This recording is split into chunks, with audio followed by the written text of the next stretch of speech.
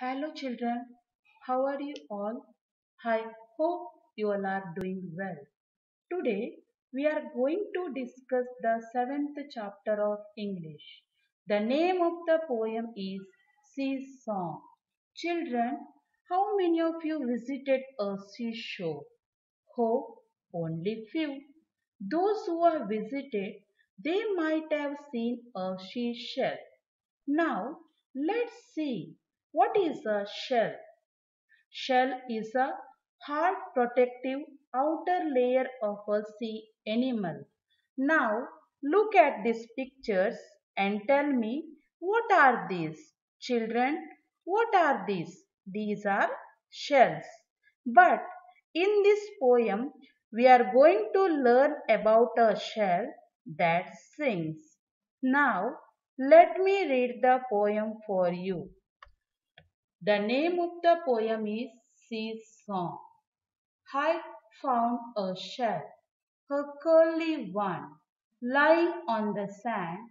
I picked it up and took it home, cold inside my hand. Here, the author is telling that he visited a seashore and found a seashell which was lying on the sand, which was curly. Do you know what is the meaning of curly? Curly means curve in shape. Who found a shell? The author found a shell. Where did he find the shell?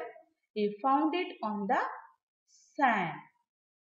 So, the author says he picked it up and took it to his home. It was cold. What was cold? Shell, which he was holding in his hand. So his hand also became cold. Mummy looked at it and then she held it to my ear. And from the shell there came a song, soft and sweet and clear. The author's mother looked at the shell and she held it on author's ear. As she kept on author's ear, there came a beautiful song from that shell, which was so soft and very sweet and very clear. What did she do? She held it on author's ear. What did he hear? He heard a sweet song. I was surprised. I listened hard, but it was really true.